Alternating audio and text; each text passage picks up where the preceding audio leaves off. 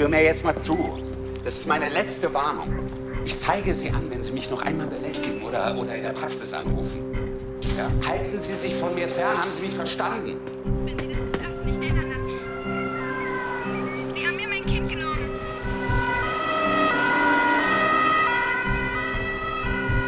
Sind Sie etwa hier?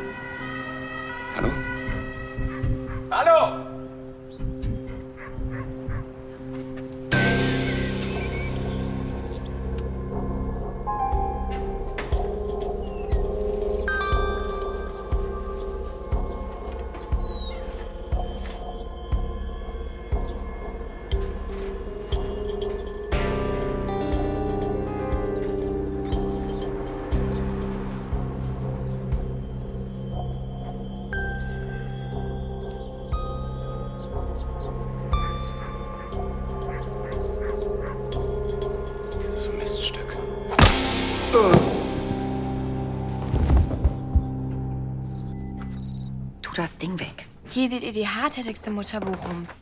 Zuerst verlieh ich meinen Vater und jetzt will sie mir meine Freunde nehmen. Emmy, das ist völlig daneben. Ich weiß auch gar nicht, was dein Problem ist. Ich meine, wir gehen ja nur nach Passau. Wir sind nicht aus der Welt. Du wirst neue Freunde finden. Außerdem kommuniziert ihr doch sowieso nur über das Teil da. Morgen. So, hier, wie gewünscht, Ihr Vanillesoy Latte Low Fat. Danke. Und da haben wir Nikolas. Den lassen wir auch zurück. Aber wir sind ja nicht aus der Welt. Was ist denn hier los? Streiken die Lehrer? Besser. Halten Sie sich fest. Emmy hat beschlossen, die Schule abzubrechen und ab heute Hartz-IV-Empfängerin zu werden. Wie ziehen um? Das ist los. Meine Mutter trifft einfach Entscheidungen, die mein ganzes Leben zerstören. Emily, jetzt wart's doch erst mal ab. Äh, Ja? Worauf soll ich warten? Hast du überhaupt schon mal woanders gelebt als in Bochum? nee, ich jetzt. Ja, das, das heißt ja auch nicht unbedingt, dass es besser ist. Schluss jetzt. Das war heute eine einmalige Sache. Ab morgen gehst du wieder in die Schule. Basta. Das werden wir ja sehen. Herr Grün, schön Ihre Stimme zu hören. Was ist? Hey, nee, nee, passt. Äh, ja, bin schon auf dem Weg. Emmy, tu das Ding weg. Frau Mannenberg? Müssen Sie da nicht auch hin? Sandner, Klaas der Vorname, Psychologe mit Schwerpunkt Familientherapie. Ah, erfreulich. Auch Kommissar Held beehrt uns mit seiner Anwesenheit. Das Ganze sieht für mich nach einem Raubüberfall aus. Auf Geld hat es der Täter nicht abgesehen. Die Kollegen von der Spurensicherung haben in der Hosentasche des Opfers noch die Geldbörse gefunden. Guten Morgen. Sind Sie schon hier? Tja, Die Tatwaffe?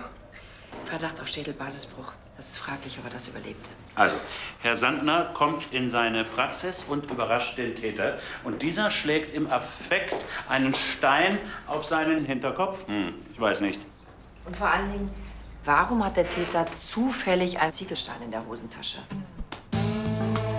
Oder aber, er hat ihn ganz rein zufällig durch das offene Fenster geworfen. Oder so. Aber dann müssen da draußen noch mehr rumliegen. Ich kann aber keine sehen. Hier wurde augenscheinlich etwas notiert und dann kräftig durchgestrichen. Dann geben Sie bitte den Zettel der KTU mit. Frau Dr. Holle soll herausbekommen, was da notiert wurde. Verzeihung treffen. Sehr gern. Wie in der Margarine-Werbung. Derartige Fotos sind vermutlich die beste Werbung fürs eigene Geschäft. Befragen Sie diese Frau Palast, die ihn gefunden hat. Sie wartet draußen.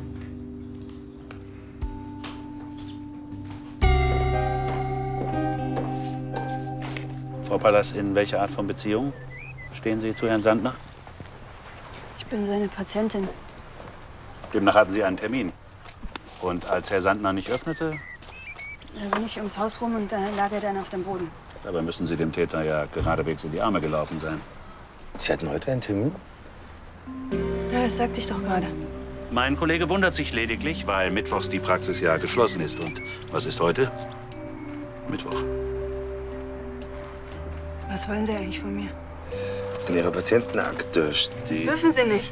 Bei der Spurensicherung fiel meinem Kollegen die Akte quasi vor die Füße. Und da sie geöffnet war, Genau so war's. genau so war es. Jedenfalls hat Sandner darin notiert, dass er sich von ihm belästigt fühlt. Er wollte eine Kontaktsperre bei der Polizei beantragen.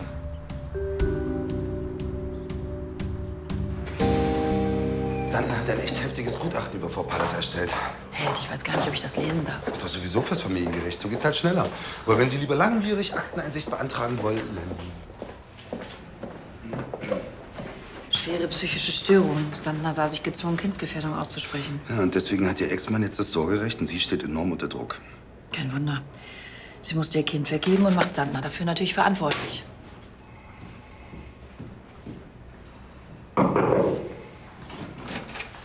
Frau Staatsanwältin Banke, Frau Elke Pallas. Frau Pallas? Aha. Alleine heute Vormittag haben Sie fünfmal auf Herrn Sandners Mobiltelefon angerufen. Für mich klingt das durchaus nach dem Straftatbestand des Stalking.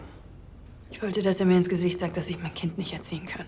Und als Herr Sandner nicht willens war, Sie zu sehen, haben Sie ihn attackiert und anschließend ein rechtes Chaos angerichtet, damit alles nach einem Raubüberfall aussieht. Ich war es nicht. Aber ich habe einen Mann gesehen, wie er von der Praxis weglief. Können Sie sich vielleicht daran erinnern, wie der Mann aussah? Ja, Gerne werden die Kollegen mit Ihrer Hilfe ein Phantombild anfertigen. Warum haben Sie denn nicht einfach ein Gegengutachten erstellen lassen, statt Sandner aufzulauern? ich habe doch keine Chance. Mein Mann will mich fertig machen und Sandner hat ihm in die Hände gespielt. Also Herr Sandner ist ein angesehener Psychologe. Er ist eine Koryphäe auf seinem Gebiet. Sicherlich hat Herr Sandner das Gutachten nach bestem Wissen und Gewissen. Ich werde nach bestem Wissen und Gewissen mein Leben ruinieren. Beruhigen Sie sich bitte mal. Ich will doch nur mein Kind zurück. Atmen Sie mal tief durch. Das kann er wenigstens keinen Schaden mehr anrichten. Hören Sie bitte an. Kann mir nicht helfen, die Dame macht einen etwas unberechenbaren Eindruck. Also auf mich wirkt sie ziemlich resigniert. Und völlig verzweifelt. Würde mir jemand mein Kind wegnehmen, ich könnte auch für nichts mehr garantieren. Unsere Amtsärzte sollen sie sich mal ansehen und auch gleichzeitig ein psychologisches Gutachten erstellen. Dann wissen wir, ob Sandner recht hat oder nicht. Solange bleibt sie hier. Ich habe übrigens mal ein bisschen herumrecherchiert. Sandners Sohn, Jonas, Der Rotjob vom Familienfoto. hat schon eine ziemlich dicke Akte. Einbruch, Diebstahl, Körperverletzung. Für einen Familientherapeuten geradezu geschäftsschädigend. Sprechen Sie mal mit der Mutter. Ah,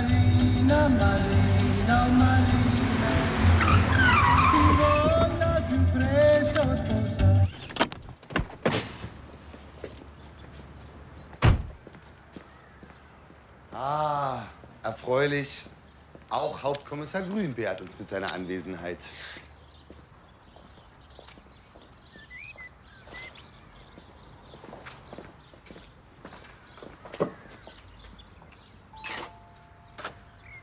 Herr Grün?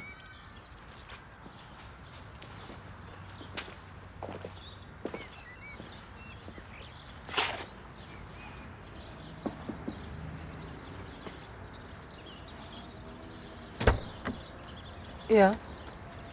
Frau Sandner? Guten Tag, Detlef Grün, Kriminalpolizei Bochum. Das ist mein Kollege Herr Nikolas Held. Dürfen wir Ihnen ein paar Fragen stellen?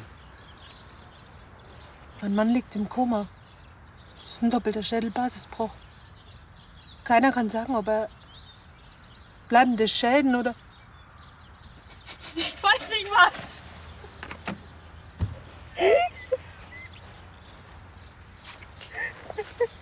Das tut uns wirklich sehr leid. Denken Sie, es wäre möglich, uns das Arbeitszimmer Ihres Mannes zu zeigen?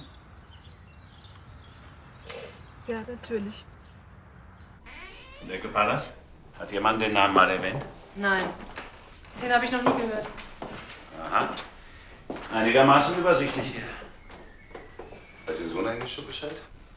Natürlich, ich habe es ihm gesagt, aber ich möchte ihn so weit wie es geht da raushalten. Dennoch würden wir ihn sehr gerne sprechen. Ist er noch in der Schule? Ähm, er jobbt seit einigen Wochen an einem Fahrradladen. Er besucht gar keine Schule mehr. Nein, er hat sie abgebrochen. Ihr Sohn hat bereits eine sehr beachtliche Strafakte. Jonas beruhigt sich gerade wieder. Der Fahrradladen, der tut ihm gut. Was sagt denn eigentlich Ihr Mann dazu? Mein Mann hält eine gewisse Art von Rebellion für ganz gesund und auch für wichtig in dem Alter. Wir sind da nur eine ganz normale kleine Familie. Was machen Sie denn da? Sie machen mir die ganze Schublade kaputt. Das ist unser Job. Das sind auch nur zwei Ganz normale, kleine Polizisten. Und hin und wieder haben wir eben auch mal Erfolg.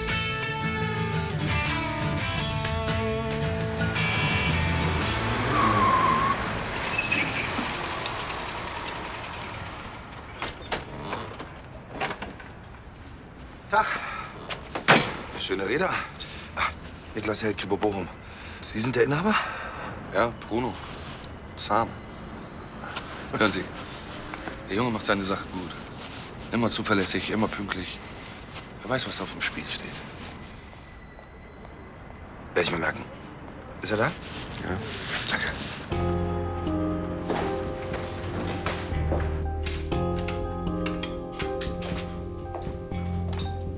Sehen aber nicht aus wie ein Bulle. Ah ja? Woher willst du denn wissen, dass ich einer bin? Hast du gelauscht? Der falsche Schlüssel. Ja, probier mal den.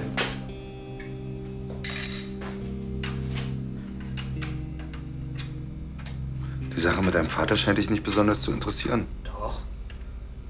Aber Bruno hat mir heute einen Ausbildungsplatz angeboten. Das interessiert mich mehr.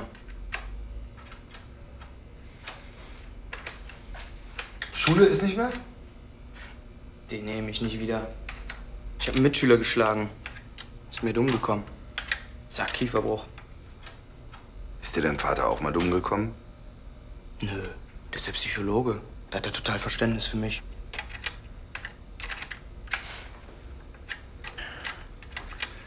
Hat er mal was über seine Patienten erzählt? Namen hat er nie erwähnt. Aber einer hat er den Zital genannt. Die hat ihn ständig angerufen. Und du? Hast du ihn heute in der Praxis besucht? Meine Güte, Jonas. Erzähl dem Herrn doch, dass du hier den ganzen Tag geschraubt hast.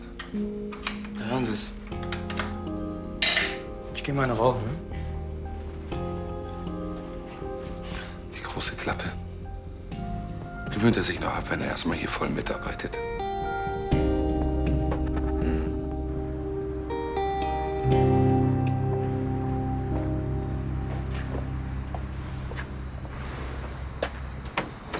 Fahren?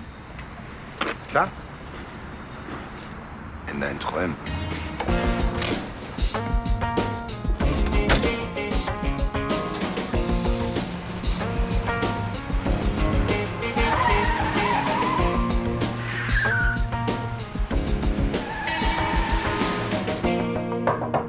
Bitte.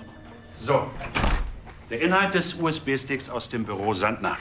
Er hat darauf Belege dafür gespeichert, dass ein Kollege von ihm seine Doktorarbeit von einem Ghostwriter hat verfassen lassen. Ein gewisser Thomas Mücke. Fachgebiet ebenfalls Familie und Erziehung. Könnte das vielleicht der Mann sein, den Frau Pallas in der Nähe des Tatorts gesehen haben will? Das wäre dann dieser freundlich dreinblickende Herr. Sein Phantombild ist soeben fertig geworden. Herr Dr. Mücke oder hm, wäre ein einfaches Herr Mücke nicht doch adäquater? Der Doktortitel ist gekauft. Eine Auftragsarbeit. Ich hätte kein Glas Wasser. Haben Sie danach in der Praxis gesucht? Herr Sandner wird das kaum zu seinem Privatvergnügen gesammelt haben. Wäre er damit an die Öffentlichkeit gegangen, wären Sie nicht nur titel- und ruflos, sondern Ihre Praxis zudem. Sandner hat Sie erwischt. Sie sind dann aus dem Fenster raus und als Ihnen gefolgt ist, da haben Sie zu dem Backstein gegriffen. Nein. Die sichergestellten Fingerabdrücke am Tatort stimmen nun mal leider mit Ihren überein. Sandner ist ein arrogantes Arschloch. Und nicht der unantastbare Gott, für den ihn die Fachwelt hält. Als Vater übrigens ein Totalversager. Haben Sie mal den Namen seines Sohnes gecheckt? Wenn Sie bitte so gut sein wollen, uns nicht unsere Arbeit zu erklären. Weshalb hat er belastendes Material gegen Sie gesammelt? Ich weiß, dass er die Ergebnisse seiner Gutachten nach Wunsch anfertigt und sich hoch bezahlen lässt.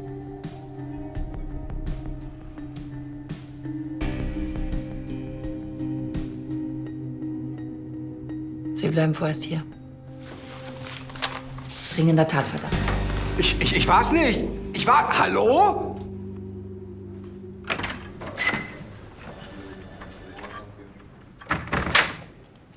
Was machst du denn da, Nikolas? Ich bin am besten Wissen und Gewissen mein Leben ruiniert. Da. Siehst du, wie sie zittert? Wir haben doch schon jemanden. Dieser Dr. Mücke sitzt in Untersuchungshaft.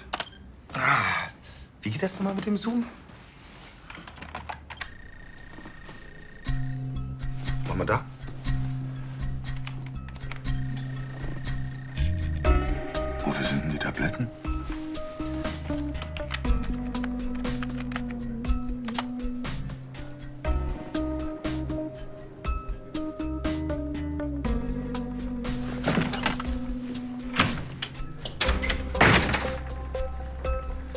Danke, Corti. Das war mal wieder richtig gute, schnelle Arbeit. Wenn ich dich nicht hätte, du Spürnase. Danke, Corti. Das war mal wieder gute, schnelle Arbeit. Du Spürnase. Frau Pallas, das ist also der Mann? Ja, den habe ich weglaufen sehen. Frau Pallas, wir haben jetzt auch das Gutachten unseres Psychologen.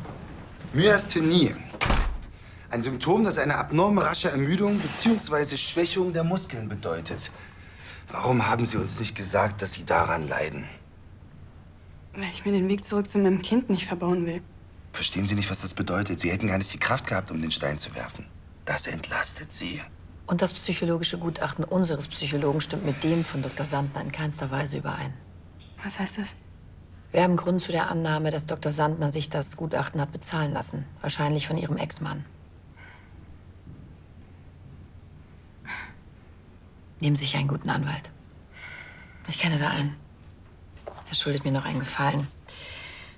Und mit seiner Hilfe und dieser Beweislage bin ich mir ziemlich sicher, dass Sie Ihr Kind sehr schnell zurückbekommen.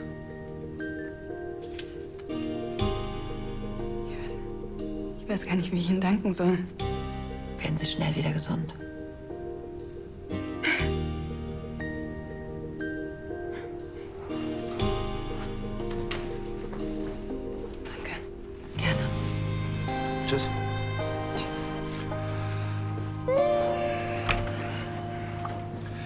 Glaube, mit dem Jungen von Sandner, da stimmt irgendwas nicht. Sagt Ihnen das Ihr Bauchgefühl? Fakt ist, dass dieser Nicht-Dr. Mücke ein Motiv hat und am Tatort war.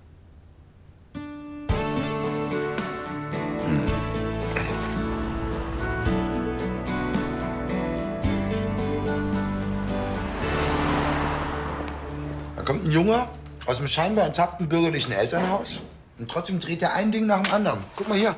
Hm? Wie dick die Akte schon ist für einen Jugendlichen. Der muss tierisch wütend sein. Und einsam.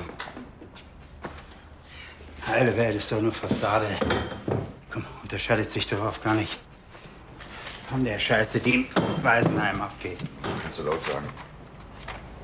Ja. Vor zwei Jahren fing alles an mit dem Diebstahl eines Handys. Da war Jonas 13. Und jetzt zuletzt schwere Körperverletzung in der Schule, nächtlicher Einbruch bei Nelly van der Weg, Inhaberin der Storch Fertilitäts GmbH. Oh, die Samenbankstorch wird's ja wohl kaum sein. Was ist die Samenbank? Carlo, krieg ich ein Wasser? Wir haben noch nicht offen. Komm, hol dir selber eine. Jonas hat einen Stein durchs Fenster im ersten Stock geworfen. Sag mal, Ahmed. Ja. Seit wann kennst du dich mit Samenbanken aus? Quatsch ich doch nicht.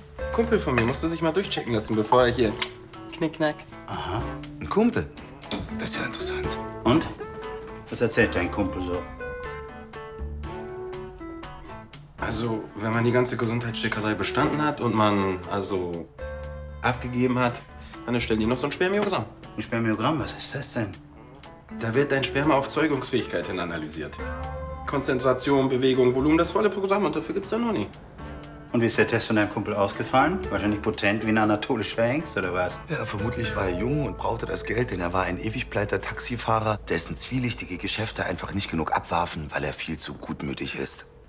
Cotti, morgen. Du sag mal, äh, die Liste der letzten Handyverbindungen von Sandner, war da auch der Name Van der Weg drauf? Ich war noch nie in der Samenbank. Nur Mut, man wird schon nicht über sie herfallen. Herr Schröder und Schröder nehme ich an. Wir hatten telefoniert wegen der Samenspende. Keine Angst, es tut nicht weh. Sie müssen zunächst ein paar Fragen zu Ihrer Gesundheit beantworten, damit wir Ihre Anlagen einordnen können. Ich bin doch kein Zuchtbulle. Und wie wollen Sie eigentlich meinen ausgeprägten Sinn für Humor feststellen? Den hohen IQ sieht man natürlich. Wir testen vor allem auf Erbkrankheiten. Meine Mutter sagte immer, ein Kind sollte aus Liebe entstehen. Sie wollen mir jetzt nicht erzählen, dass Sie noch bei Ihrer Mutter wohnen. Das habe ich doch gar nicht gesagt. Aber es stimmt. Frau van der Beek. Verzeihen Sie bitte. In Wahrheit sind wir von der Kripo Bochum. Detlef Grün der Name. Das ist mein Kollege, Polizeiobermeister Mario Korthalt. Sagen Sie, kennen Sie Herrn Sandner? Herrn Klaas Sandner? Nur flüchtig. Sein Sohn hat mal hier eingebrochen. So eine Art Mutprobe unter jungen Leuten. Den Akten zufolge war er allein und hat einen Laptop entwendet. Ja, das hat er mit nach Hause genommen. Wir hatten alles auf der Kamera. Ja, aber das ist doch kein großes Ding. Wir haben das doch alles schon geklärt. Sie haben, obwohl Sie ihn lediglich flüchtig kennen, Herrn Sandner gestern in der Früh um sieben von zu Hause aus angerufen. Ja, ich brauchte seinen kompetenten Rat. Ich bin selber Mutter von vier Kindern. Aus einer Samenspende? Also ich bitte Sie, die Herkunft meiner Kinder hat mit den Machenschaften von Sandner nichts zu tun. Machenschaften? Welchen Machenschaften? Ähm, gar keine. Also, ich finde das ja schon mehr als zufällig, dass bei beiden Delikten ein Stein zum Einsatz kam, der durch ein Fenster flog. Tja, sowas gibt's, ne? Warum bist du wirklich in die Samenbank eingebrochen? Ein Laptop hast du doch bestimmt schon, oder? Sie kennen doch die jungen Leute. Nach ein paar Monaten ist die Technik angeblich veraltet. Frau Sandner, lassen Sie Jonas bitte für sich selber antworten, ja? Danke. Also, warum kein Elektromarkt? Hm? Zu gut gesichert. Das war auch mehr ein spontanes Ding. Mutprobe. Ach, so ein Kinderkram mache ich doch nicht. Was hat denn dein Vater dazu gesagt? Hören Sie, das ist doch jetzt völlig irrelevant. Eltern sind von solchen Aktionen natürlich nicht begeistert, aber das ist noch Er sagt, ich sei ein Geburtsfehler. Ein Totalschaden. Das hat er nicht so gemeint. Doch, das hat er. Das weißt du auch. Es tut mir leid, Herr Held. Aber jetzt nur noch mit Anwalt. Ich trage die Verantwortung für meinen Sohn. Warte mal kurz. Ich glaube, dir ist da gerade etwas in deine Tasche gefallen.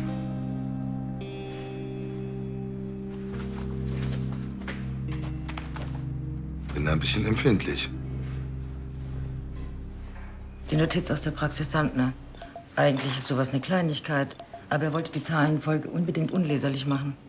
Das heißt, er hat mit Absicht stark aufgedrückt. Entweder es war ihm wichtig oder er war emotional aufgeladen. Oder beides. Das ist doch vermutlich keine Telefonnummer. Vielleicht eine Kontonummer? Held, was machen Sie überhaupt hier? Ich könnte schwören, ich habe eben Ihr Auto wegfahren sehen.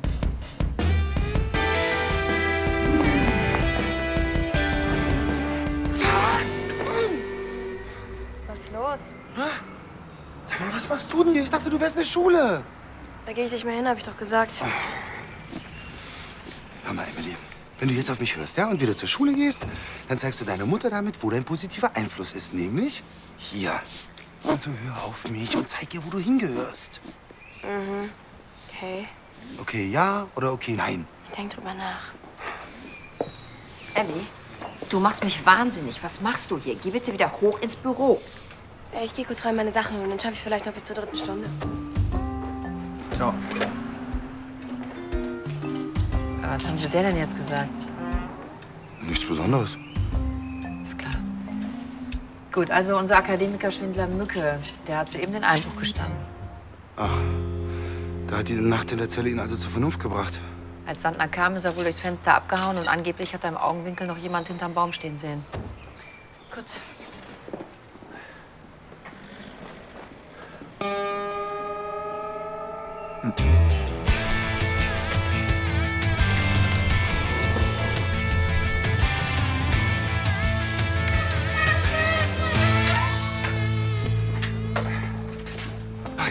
Gerade anrufen. Keine Sorge, ich habe Jonas schon ordentlich Bescheid gegeben. Aber Sie müssen doch verstehen. Die Sache mit seinem Vater nimmt den Jungen ziemlich mit. Ja? Den Eindruck hatte ich irgendwie gar nicht. Eher, dass mir was verschweigt. Darf ich? Aber hast du einen Arsch offen? Schlüssel her. Können Sie mir mal den Pedalschlüssel geben? Pass mal auf, ich kann dir gleich was anderes geben. Nenn mir einen Grund, warum ich dich nicht verhaften soll. Ich hab's ja kapiert, Mann. Ja, gut.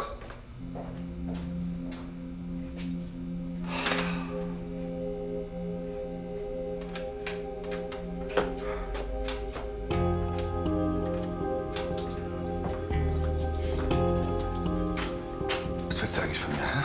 Soll ich dir zuhören? Gut, hier bin ich. Ich höre dir zu. Also bitte. Tut mir leid wegen dem Auto.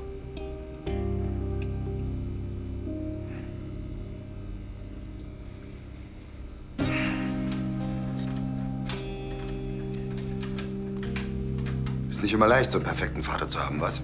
Vater ist ein Arschloch. Klingt hart, wenn der Sohn das sagt, oder?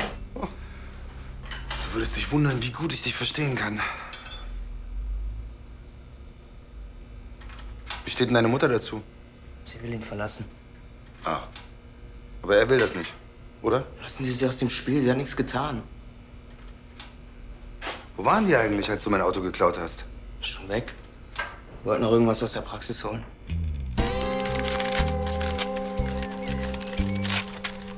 Sandner. Mein Gott. Held. Haben Sie vergessen, dass das hier immer noch ein Tatort ist?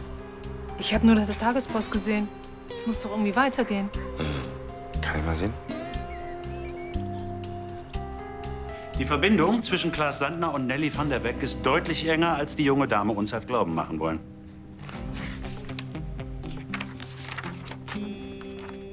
Oh. Sie hat ihm 10.000 Euro auf sein privates Konto überwiesen. Mhm. Und zwei Wochen später nochmal 20.000. Mhm. Abermals. Holen Sie Frau van der Weg bitte her. Wofür, Frau van der Beek, ist das Geld?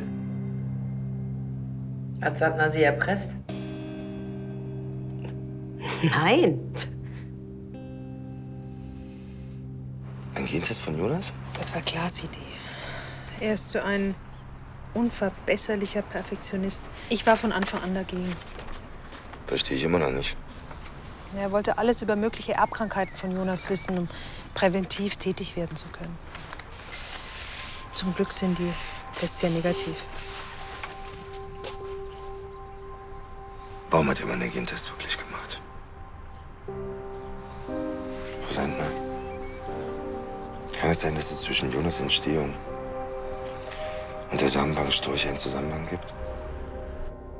Also Jonas bricht bei Ihnen ein und Sie zahlen dem Vater Geld, der jetzt schwer verletzt auf der Intensivstation um sein Leben kämpft. Erklären Sie mir das.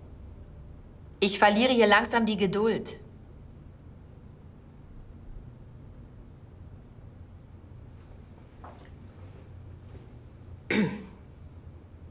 Die Sandners sind Kunden von uns. Das also war der eigentliche Grund für Jonas Einbruch. Er beabsichtigte, den Namen seines Erzeugers herauszufinden? Bis zum 18. Lebensjahr ist der Spender geschützt und nicht einsehbar. Was hat Herr Sandner gegen Sie in der Hand? Das hat doch eindeutig etwas mit der Spende zu tun. Andersrum gefragt. Hat Jonas gefunden, wonach er gesucht hat? Nein.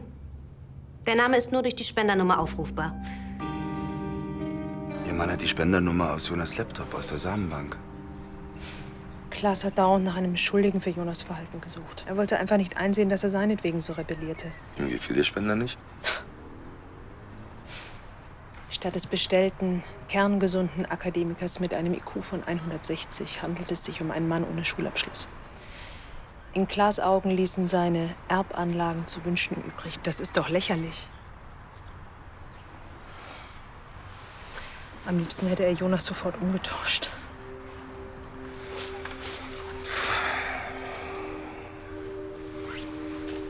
Wie hat Jonas eigentlich davon erfahren? Mit einer Samenspende zum Wunschkind. Diese von der Weg hat uns doch einen Restposten angedreht. Gesteh dir doch endlich ein, dass der große Pädagoge Sandner als Vater komplett versagt hat!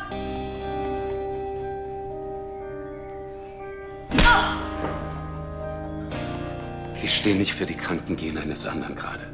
Kapiert?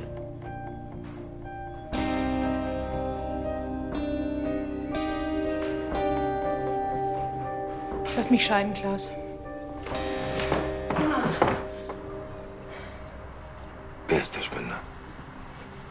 Ich weiß es nicht. Wir haben vor 15 Jahren einen Fehler gemacht. Wir haben die Angaben des Spenders nicht überprüft, wozu wir verpflichtet sind. Oh. Hätte Herr Sandner das publik gemacht, hätten Sie erhebliche Schwierigkeiten bekommen. Verlangte er dafür das Geld? Es war eine Art Schadensersatz, eine Entschädigungszahlung. Wie heißt der Spender von Jonas? Tut mir leid, das kann ich Ihnen nicht sagen.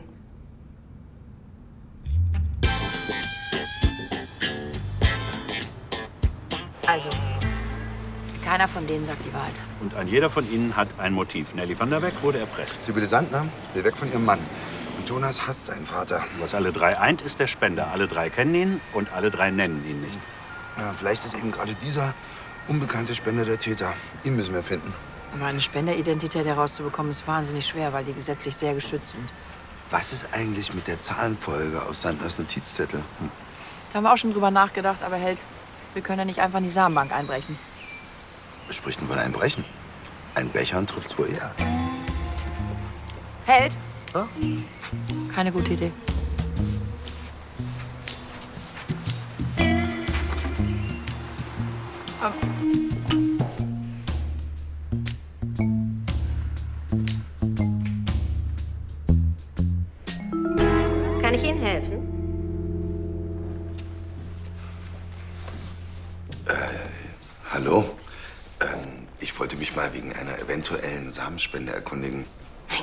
Sind ja ein richtiges Prachtexemplar. Vielleicht kann ich mich hier ja mal umsehen. Also, ich meine, Ihre Broschüren ansehen. Sie können sofort loslegen, junger Mann. Ich bin mir sicher, Ihr Sperma wird unseren hohen Qualitätsansprüchen mehr als genügen. Danach folgt noch ein kleiner Gesundheitscheck. Nur gutes Aussehen allein reicht natürlich nicht.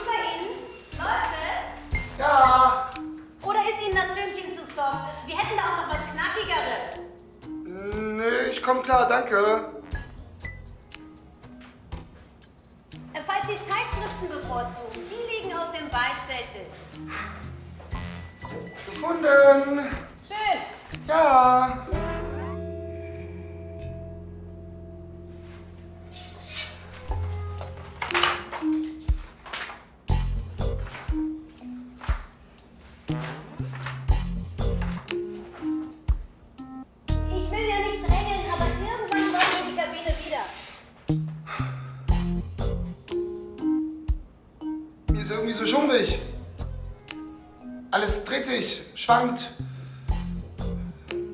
Ich glaube, ich habe eine Kabinenallergie. Bitte was? Na, dann kommen Sie mal wieder zu sich. Bitte schön. Das ist mir wirklich noch nicht passiert. Ja, ja. Wir hatten heute schon mal so ein Angsthäschen hier, der war sogar von der Polizei. Oh, ähm, Sie entschuldigen mich kurz? Wenn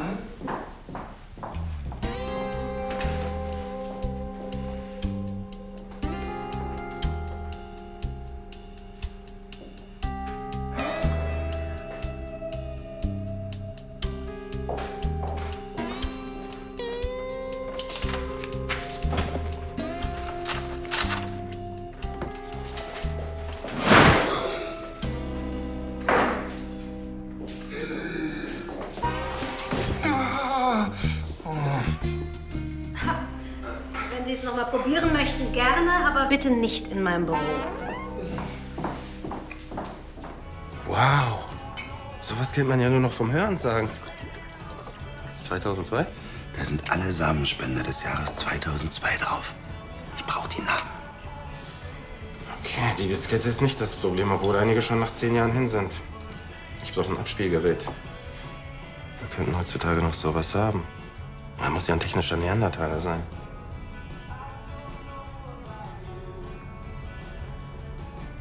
Wehe, wenn ihr das Ding kaputt macht. Das ist ein Freund.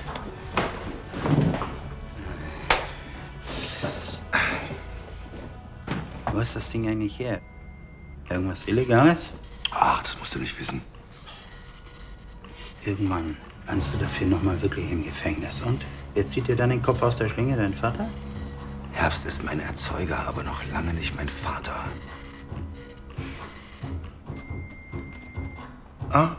Dein Sägewerk ist fertig. Probleme mit meinem Drucker? So. Viel ist es nicht. Zahlen und Namen.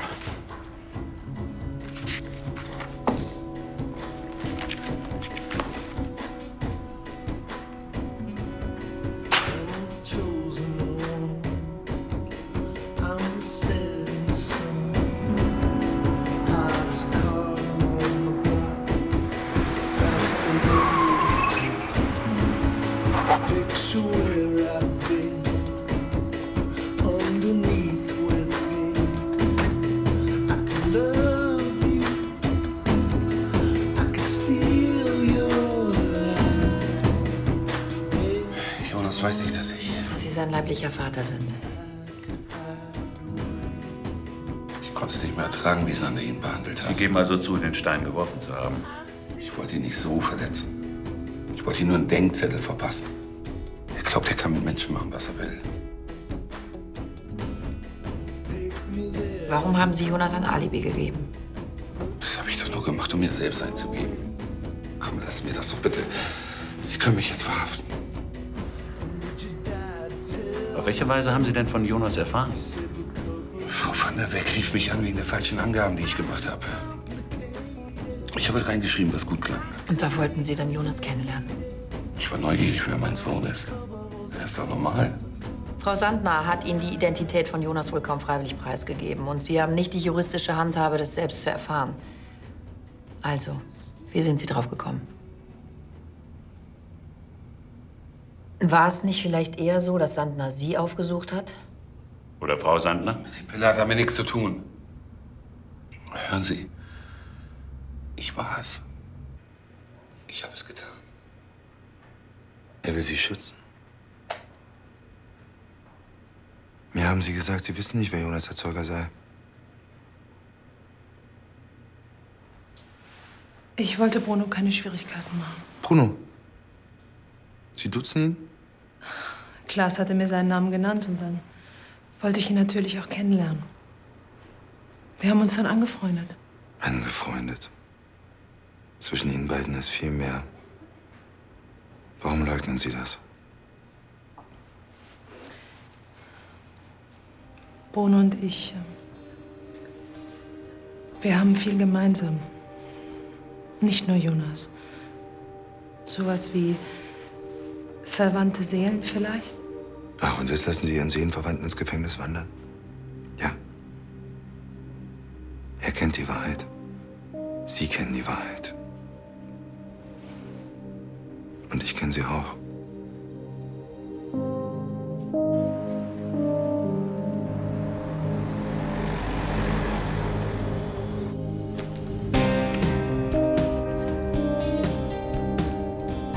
Bruno kommt nicht wieder, oder? Nee. Er hat gestanden. Wir mussten ihn verhaften. Ich find's auch scheiße. Ist ein super Typ. So einen hätte ich gut gebrauchen können, als ich in deinem Alter war. Was ist denn eigentlich mit Ihrem Vater? Er wurde ermordet, als ich zwölf war. Meine Mutter auch. Vor kurzem habe ich herausgefunden, dass mein Vater gar nicht mein leiblicher Vater ist und dass mein Erzeuger sogar schuld ist am Tod meiner Eltern. Ich weiß nicht, wer mein Erzeuger ist. Alle wissen es. Nur ich nicht. Jonas, ich kann mir vorstellen, wie du dich fühlst. Aber du musst endlich anfangen, dein Leben selbst in die Hand zu nehmen. Sonst bist du niemals du, sondern immer nur das Produkt von anderen. gehört aber eben auch, dass du Verantwortung übernimmst. Für das, was du tust.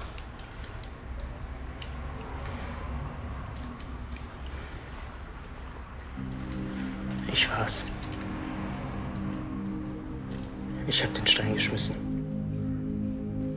Ich weiß. Ich hab ihn so sehr gehasst in dem Moment.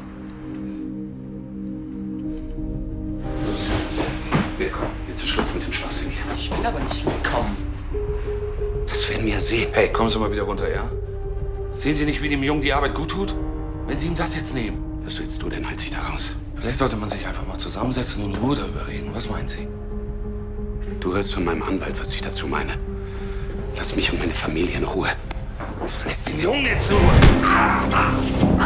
Jonas.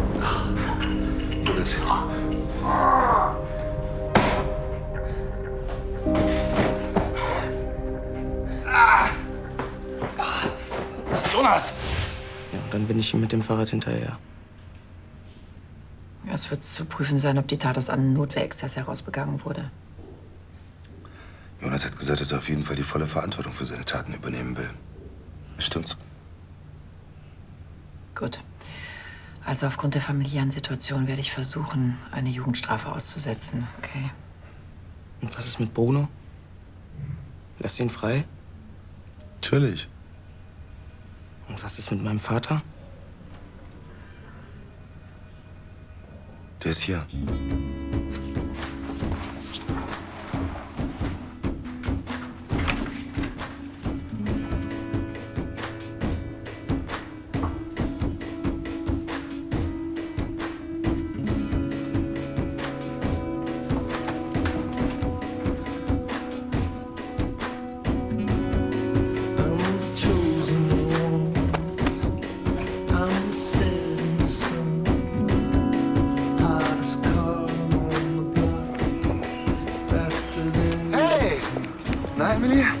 Mama kommt auch gleich. Ich warte nicht auf Mama, sondern auf dich. Ich ziehe nämlich zu dir. Lustige Idee. Aber dann müsst ihr erst mal eine Woche aufräumen. Ich gehe nicht zurück zu Mama. Ach komm schon. Sie ist doch gar nicht mehr sauer auf dich. Du hast doch selbst gesagt, dass ich ihr zeigen soll, wo ich hingehöre. Ja? Äh, warte mal kurz. Julia, warte mal bitte ganz kurz. Wir reden morgen, okay? Mach's gut. Ja, pass mal auf, ich